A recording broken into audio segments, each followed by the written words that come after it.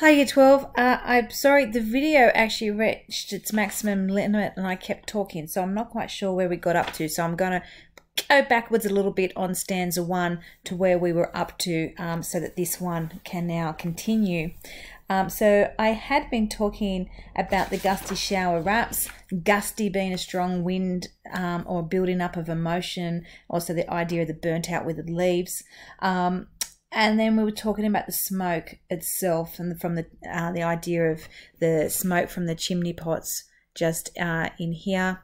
Or um, the um, the we were also talking about the lonely cab horse steaming and stamping as well and what could that possibly mean? So um, I, was, I was talking about the lonely cab horse steams and stamps. Is it cold? Is it keen to walk on? Is it impatient?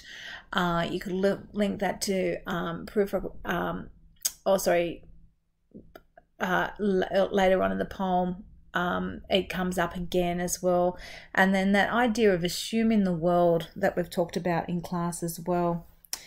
Um, it's written in the simple present tense, which indicates a repetitive movement as well, as though we're kind of sort caught up in this cycle uh, and just keeps moving on. So we get this sense of inertia.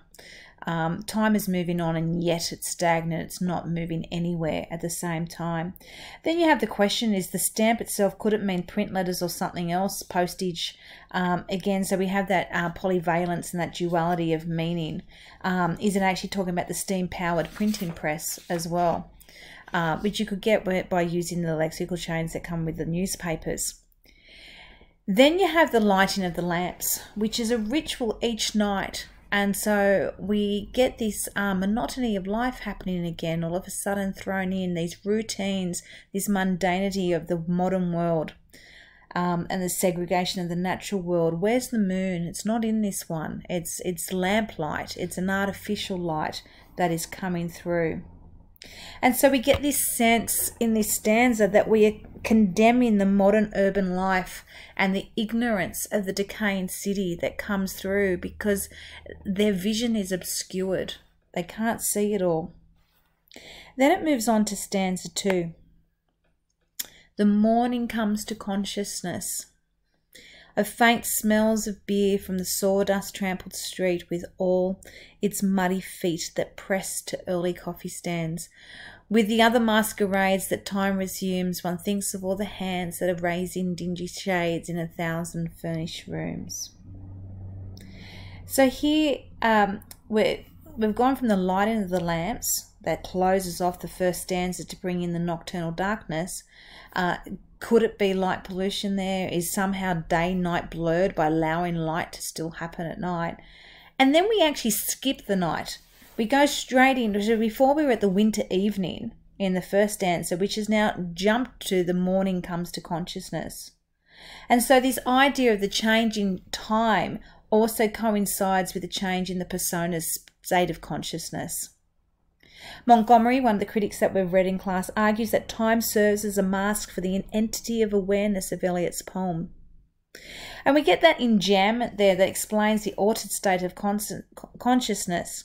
The morning comes to consciousness of faint stale smells of beer from the sawdust trampled street with all its muddy feet that press to early coffee stands. That's all flows together as one um, big sentence there because of the enjambment. So the smells of beer are like the smells of steak in the second line of the first stanza. So we have that movement or that, that smell continuing through. Notice structurally it's in the same place as well. Scientists have told us that familiar smells trigger memories and feelings. And if that's the case, how can we then link this to Rhapsody on a Windy Night, which is all about memory as well? We also have this semantic opposition in smells of beer and coffee stands. The drinks have opposing effects on the human body. One is a pick me up. It's it's a uh, it gets you going. Um, we often drink it in the morning because it gets us going um, and makes us alert to our surroundings. The other um, makes us quite drowsy uh, and arguably shifts us into that sense of subconsciousness that belongs to the night. And notice it's a faint, stale smell of beer. uh, it's it's off, it's rancid, it's like everything else. There seems to be a sense of decay to it as well. Then you also have the sawdust trampled street, and this lexical chain starts to come through with sawdust trampled street, sordid, soiled, grimy, dingy, blackened. It evokes this gloomy and dirty atmosphere.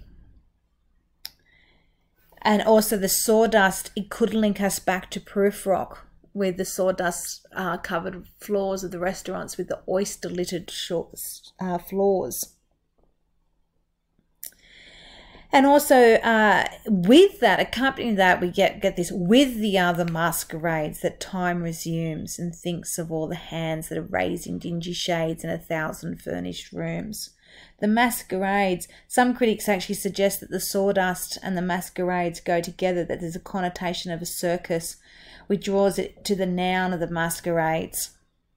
And if it's a circus, what kind of circus? Is it all just some kind of fantasy that's being watched and it's not real? It's kind of some bad dream, maybe. Uh, we also have these links to Prufrock and back to the seedy end of town as well. And again, the feet that press. So again, we're at that fragmentation of individuals.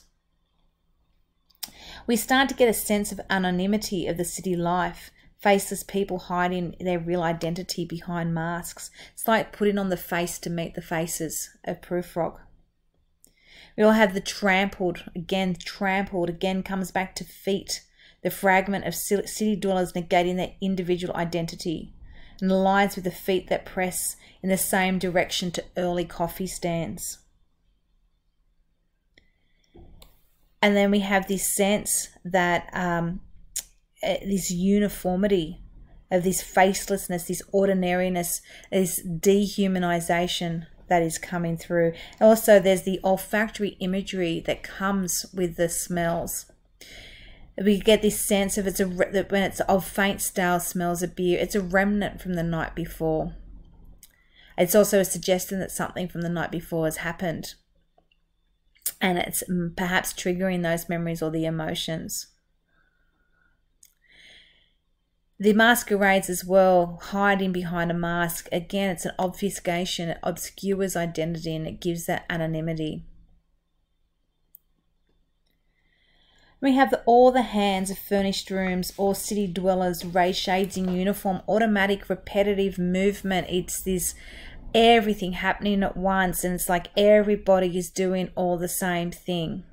So all the rooms are uh, uniform together, all the hands doing the same thing. Again, it's a body part. Also, with that, that time resumes, one thinks of all the hands. It's like the thinking of time reminds us of the hands, and it's the hands of the clock going around, as well as the hands that are raising the blinds, the shades. Are these the broken blinds from the night before?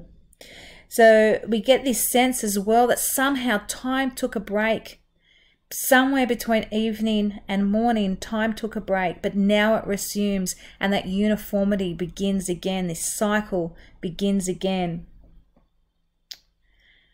And then the um, dingy shades it conjures this idea of dark and blurred colours that parallels with the thousand sorted images that come in the next stanza. Okay, I'm going to stop this one here before we go into stanza three and um, so you can have a look at that and uh, bring in together what you've already seen in these two, but really think about the lack of visibility, the fragmentation, the mundanity of the day, the idea that it could also be about artistry and how that poetry challenges and the structure of the poem is challenging and what is it doing poetically there and just what do you think is consciousness? Ask yourself that what is consciousness? And we're going to stop it here and then we'll start again.